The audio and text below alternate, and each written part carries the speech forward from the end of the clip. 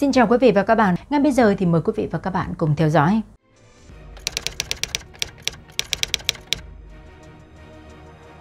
Mới đây, fanpage có tích xanh của báo Công an Nhân dân bất ngờ đăng tải dòng thông tin, những kẻ mạo danh tu hành ở tỉnh Thất Bồng Lai để trục lợi như thế nào. Ngay lập tức, chủ đề đã nhận được nhiều sự quan tâm từ phía khán giả và dư luận. Theo đó, đằng sau những vi phạm dẫn đến việc bị sờ gáy, Lê Tùng Vân còn cầm đầu một nhóm người giả tu nuôi dưỡng trẻ cơ nhở nhằm kêu gọi Phật tử ủng hộ tiền tài vật chất suốt thời gian qua. Mặc dù được cơ quan điều tra cho tại ngoại vì tuổi già sức yếu, song ông Lê Tùng Vân vẫn có hành động coi thường pháp luật. Cụ thể người này tự ý rời khỏi xã Hòa Khánh Tây huyện Đức Hòa tỉnh Long An lên thành phố Hồ Chí Minh làm căn cước công dân mà không trình báo với công an hoặc chính quyền địa phương. Sau khi quá trình điều tra cũng như kiểm tra nội dung video tỉnh thất bồng lai đăng tải, nhiều nội dung video thu thập được có dấu hiệu ảnh hưởng Phật giáo. Cụ thể, trong một video trên tài khoản năm chú tiểu thiền am bên bờ vũ trụ, có tên năm chú tiểu phần 2, người lớn mừng tuổi thầy ông nội ngày mùng 1 Tết, đăng ngày 2 tháng 7 năm 2019, Lê Tùng Vân liên tục có những lời lẽ khó nghe nói về Phật giáo. Đáng chú ý, có đoạn Lê Tùng Vân nói không tốt Thượng tòa Thích Nhật Từ, Ủy viên Hội đồng trị sự Giáo hội Phật giáo Việt Nam, gây bức xúc dư luận.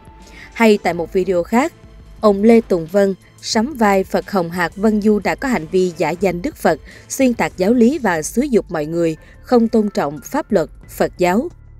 Trước khi lập ra cơ sở tỉnh thất Bồng Lai, ông Lê Tùng Vân cũng đã lập ra cơ sở nuôi dưỡng trẻ em cơ nhở ở xã Phạm Văn Hai, huyện Bình Chánh, thành phố Hồ Chí Minh. Tuy nhiên sau đó đối tượng này đã bị chính quyền địa phương phát hiện và bắt buộc đóng cửa.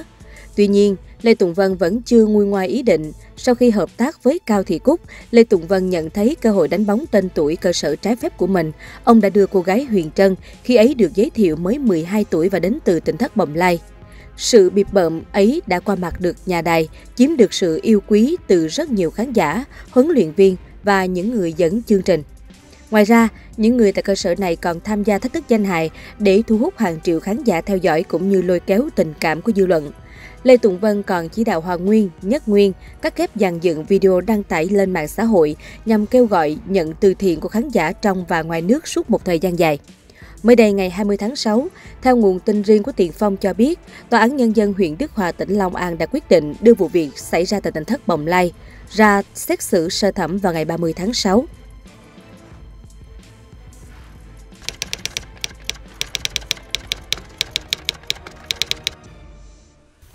Á quân The Voice Kids 2014 ngay sau đó được nhiều khán giả nghệ sĩ trong nước biết đến, đặc biệt ca sĩ Quang Lê khi đã nhận Huyền Trân làm con nuôi, nâng đỡ cô bé 10X trên con đường ca hát lẫn học văn hóa với khả năng tốt nhất có thể. Tuy nhiên, chỉ 2 năm sau đó, Huyền Trân bất ngờ trở lại tỉnh thất bồng lai, hé lộ mâu thuẫn với cha nuôi Quang Lê. Từ sự việc này, Huyền Trân, cô bé hát nhạc trịnh sống ở tỉnh thất Bồng Lai, được nhiều người nhắc nhớ, tìm kiếm vì cô đã để lại ấn tượng mạnh mẽ tại cuộc thi The Voice Kids 2014, giọng hát Việt nhí với ngôi Á quân. Huyền Trân từng tham gia vào một chương trình tìm kiếm giọng hát trên truyền hình vào năm 2014. Thời điểm đó, Nico hiền lành có giọng hát trong trẻo thánh thiện, luôn xuất hiện với chiếc áo nâu sòng, nhận được rất nhiều sự yêu thương, ủng hộ của khán giả. Đặc biệt cô bé còn càng được biết đến nhiều hơn khi giành giải Á quân, được Quang Lê nhận làm con nuôi, hỗ trợ hết mình trên con đường nghệ thuật. Cụ thể là 8 năm trước trong chương trình The Voice Kids, khán giả rất bất ngờ với một cô bé 12 tuổi, giới thiệu mồ côi cha mẹ và đến tỉnh thất Bồng Lai ở ở từ 4 năm tuổi. Trong trang phục áo tu đầu đội mũ len nâu đứng trên sân khấu ca hát, cô bé ấy tên đầy đủ là Lê Thanh Huyền Trân, sinh năm 2002. Đến với The Voice Kids tạo ấy, Huyền Trân chọn về đôi vợ chồng nghệ sĩ Lưu Hương Giang, Hồ Hoài Anh. Xuyên suốt cuộc thi, Huyền Trân chỉ mặc áo tu, áo dài và hát nhạc trịnh. Không ai nghĩ 12 tuổi Huyền Trân đã chọn cho mình dòng nhạc ra dặn như các tác phẩm của Trịnh Công Sơn. Nhưng khi âm nhạc vang lên, Huyền Trân cất giọng tất cả như lắng lại bởi cảm nhận được sự ấm áp, tình cảm của cô bé 10X. Một cõi đi về diễm xưa, tuổi đã buồn, cát bụi, còn tuổi nào cho em như cánh vạc bay của nhạc sĩ họ Trịnh đã được Huyền Trân thể hiện thành công, để lại nhiều ấn tượng với khán giả thông qua giọng hát ngọt ngào, chuyên cảm xúc mạnh mẽ.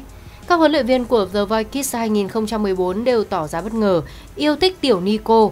Qua tiếng hát Huyền Trân, người ta dường như cảm thấy đây là một người từng trải, chứ không phải một cô bé 12 tuổi đang ở tuổi ăn tuổi học.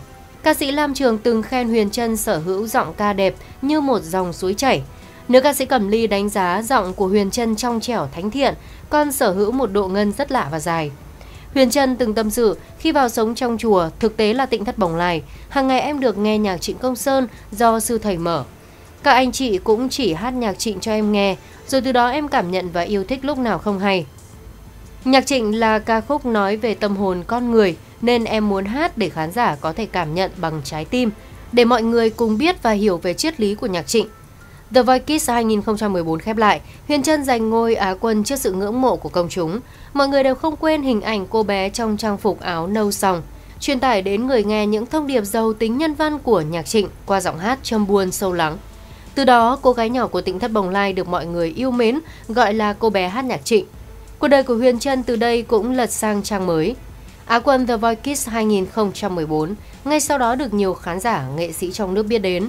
Đặc biệt ca sĩ Quang Lê khi đã nhận Huyền Trân làm con nuôi, nâng đỡ cô bé 10X trên con đường ca hát lẫn học văn hóa với khả năng tốt nhất có thể. Tuy nhiên chỉ 2 năm sau đó Huyền Trân bất ngờ trở lại tỉnh thất Bồng Lai, hé lộ mâu thuẫn với cha nuôi Quang Lê. Chú Quang Lê bắt em đội tóc giả, ra ngoài sống tự lập và thậm chí là nuôi tóc thật. Em không đồng ý với điều đó nên hai chú cháu có chút mâu thuẫn do cả hai chưa có cùng quan điểm với nhau. Sự việc khiến cho giọng ca về đầu mái tóc người thương nhận về không ít những chỉ trích từ thời điểm đó. Năm 2018, Huyền Trân trở lại với chương trình Giọng hát Việt. Vẫn là hình tượng hiền lành, vẫn giọng hát ngọt ngào ấy, nhưng cô đã sớm dừng chân trước những đối thủ đáng gờm hơn rất nhiều. Trở về với cuộc sống nơi tịnh thất, Huyền Trân vẫn tiếp tục xây dựng hình tượng ngoan hiền, thường xuyên live stream hát tặng khán giả. Phải đến khi ồn ào của tịnh thất Bồng Lai nổ ra và được cơ quan chức năng điều tra làm rõ, thì thân thế và bộ mặt giả tạo của Huyền Trân mới bị bóc trần hoàn toàn. Liên tục khẳng định mình là trẻ mồ côi trên sóng truyền hình, nhưng theo giám định ADN của Phòng An ninh Đối nội Công an tỉnh Long An, Huyền Trân, tên thật là Lê Thanh Huyền Trân, là con ruột của ông Lê Tùng Vân, sinh năm 1932 và bà Cao Thị Cúc, sinh năm 1960. Thực chất cô đang sống cùng cha mẹ ruột của mình chứ không hề thiếu thốn tình thương như khán giả vẫn lầm tưởng. Không những vậy, Huyền Trân từng tiết lộ khi nhỏ bị bệnh động kinh nhưng đã chữa khỏi, còn mắc bệnh suyễn khá nặng. Tình trạng sức khỏe kém nên ni cô này chỉ học đến hết lớp 5. Thế nhưng thực tế thì Huyền Trân sức khỏe hết sức bình thường. Cô nhiều lần check-in trong phòng tập thể hình, hoạt bát nhanh nhẹn không giống với một người sức khỏe yếu đến mức không thể đi học. Thậm chí có nguồn tin cho rằng Huyền Trân và Diễm My đều từng trải qua sinh nở. Tuy nhiên thông tin này vẫn chưa được điều tra làm rõ. Dù vậy với tất cả sự thật được phanh phui ở trên, Huyền Trân nhận phải vô số chỉ trích khi khiến khán giả thất vọng, mất niềm tin. Hiện sự việc tại tỉnh thất Bồng Lai vẫn đang trong quá trình điều tra. Không biết sẽ còn những sự thật kinh khủng nào được phơi bày.